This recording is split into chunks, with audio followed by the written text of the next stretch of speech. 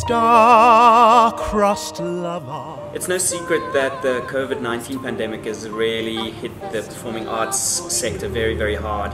And um, we sort of had a choice to either do nothing or to try and do what we can. So we decided that we would partner with Abrams and Meyer Productions um, in bringing a new piece to life.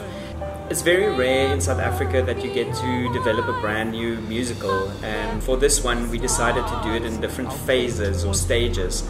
Uh, we first worked on the text and the score, we then had a staged reading, and now we are at the place where we are recording a concept album, which is very exciting, and we get to hear the full score and hear the, the story in, in context. I think it's one of the most incredible shows I've ever done most beautiful singing that I've ever been able to do.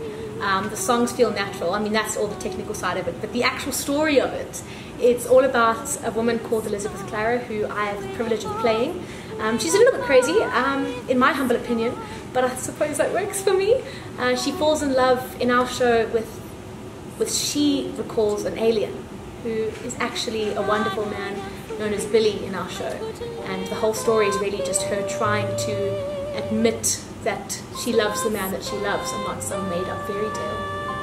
I play the role of Billy. He's a young journalist and you know he's very passionate about change coming about in South Africa and I think it's quite challenging, you know, especially if you look at the time that a character like this um, would have been so politically minded. You risked life and limb, you know, by putting yourself out there in that kind of regard. But I, yeah, I think this character from where I place him into kind of my narrative. I think that they grew up together on this sprawling farm, you know, in Rosetta's Hills in the beautiful Natal Midlands, and they were like most kids, you know, they didn't see color and they played together and they formed this incredible relationship together. But um, obviously, because of the political climate in South Africa at the time, their love story just was not meant to be a lot of the music in, in Starcrossed is very much influenced by the Impressionists. But at the same time, to try and keep it current, I'm also influenced by contemporary musical theatre writers such as um, Jason Robert Brown, Adam Guettel.